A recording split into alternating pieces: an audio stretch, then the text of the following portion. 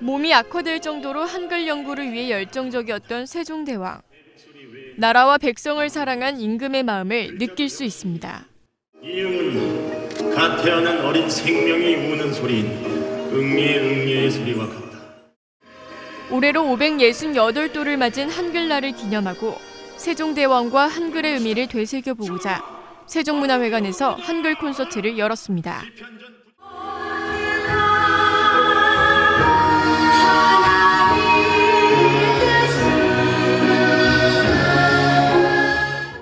세조가 듣고 눈물을 흘렸다는 월인 천강지곡. 세종대왕이 직접 훈민정음으로 지은 노래 가사집입니다. 백성을 사랑하고 아끼는 마음을 천 개의 강을 비추는 달의 그림자에 표현한 세종대왕의 애민 정신을 느낄 수 있습니다. 제가 하는 그 가사에 있는데요. 어, 부처님의 공덕을 받들어서 세종께서 친히 지으신 한글 노래이다라는 그 말이 나와요. 근데 그 말이 정말 딱 세종대왕님께서 얼마나 한글을 사랑하시고 또 노래를 사랑하셨는지 알 수 있는 부분인 것 같습니다.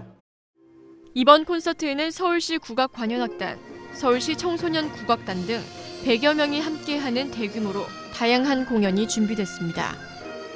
세종 역할을 맡은 뮤지컬 배우 최재웅은 백성을 생각하는 임금의 열정과 고뇌를 절실히 보여주었고 한글을 주제로 한 현대무용가 김설진의 화려한 퍼포먼스도 관객의 시선을 사로잡았습니다.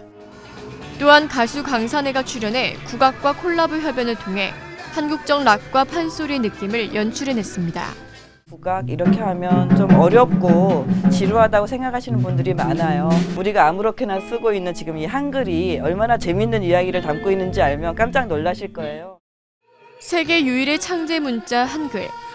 외래어가 난무하고 있는 요즘 세종대왕의 애민 정신을 통해 만들어진 한글의 소중함을 다시 한번 되새겨보는 시간이었습니다. TBS 홍희정입니다.